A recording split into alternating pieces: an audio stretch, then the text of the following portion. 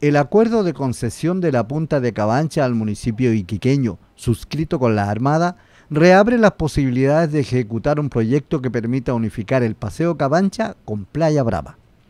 En fuentes municipales se señaló que esta idea fue ya expresada en la anterior gestión del alcalde Soria hace más de seis años. Ahí se da la prolongación y la unión de los dos parques, del parque temático Cabancha y el parque Playa Brava los diseñadores, los proyectistas, los arquitectos, los constructores civiles que tiene el municipio están trabajando en un proyecto para que esa continuidad contemple veredas, ciclovías, áreas verdes, estacionamiento, a objeto que el iquiqueño antiguo, como los nuevos iquiqueños que han llegado a la ciudad, sigan viendo el mar y no sean obstruidos por los grandes edificios que hoy día están en la península de Cabancha. La iniciativa, como todo proyecto, encuentra apoyo en distintos sectores de la comunidad, especialmente en quienes desarrollan actividades en el sector. Creo que por esa parte el municipio tampoco no va a poder hacer mucho en la parte nuestra porque como siempre lo he escuchado a la parte de la señora Mirta, a, don Jorge, que siempre ellos reservan mucho la parte de los pescadores artesanales porque parte de acá del turismo, somos abastecedores los pobladores, así que también esa parte la cuidan. Yo creo que en ese pero todo lo que venga mejoramiento y que mejore la parte nuestra, que bien sea. Bien para Iquique, pues, amigo, para la ciudad.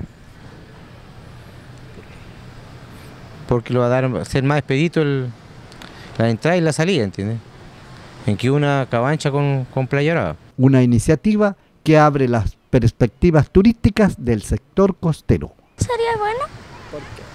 Porque así de una forma tendríamos como más playa. Me parece que era un proyecto que estaba medio abandonado y que se está retomando y la idea es retomarse, pero con todo. ¿ah? Eh, tengo entendido que el proyecto tiene planeado hacer una bahía, eh, hacer una, instalación de algunos yates también, eh, amononar Iquique ¿ah? y transformar Iquique con su mejor esplendor, porque tiene mucho y de ese mucho hay que aprovecharlo. Sin embargo, algunos preferirían que se mantuviera la separación de los paseos costeros. Me gusta así como está el sistema. Me gusta porque los turistas que yo traigo suelen decirme, ¿esta qué playa es? Esta es Playa Brava.